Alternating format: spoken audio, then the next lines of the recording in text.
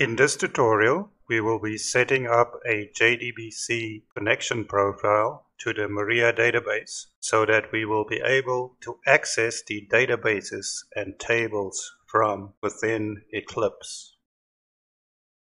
These steps will be our guideline to setting up the MariaDB JDBC connection within Eclipse and accessing the database from within the Eclipse Data Source Explorer view. First, we will select Windows, Preferences, Data Management, and we will add a generic JDBC driver definition. Then we will download the MariaDB JDBC drivers from the Maven site. We will specify the Maria JDBC connection details and then we will create a new database connection in the Eclipse Data Source Explorer and test our connection. So let's move over to Eclipse. And in Eclipse, we will select Window, Preferences, Data Management, and Driver Definitions. Here we will select Add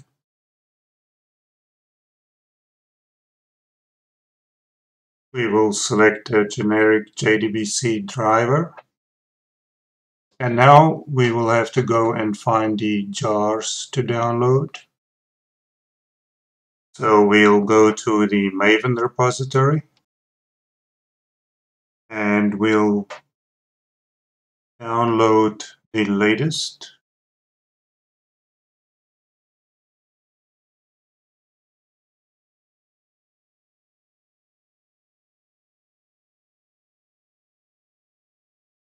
Now that it has been downloaded, we will add it to Eclipse.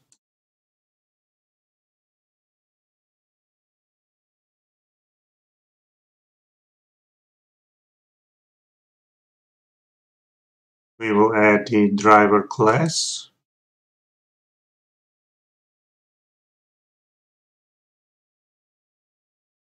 We'll exit out of here. and we'll select a new database connection. Generic JDBC MariaDB. We enter the admin username and password that we set up previously and we add the full JDBC URL. We test our connection and it succeeded. We see that we are using the driver definition. We select next and finish. And now we can see down here in our database connections, the newly created JDBC connection shows up with all the catalogs.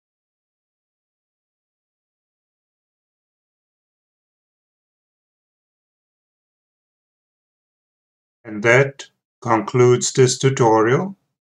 I will see you in the next one.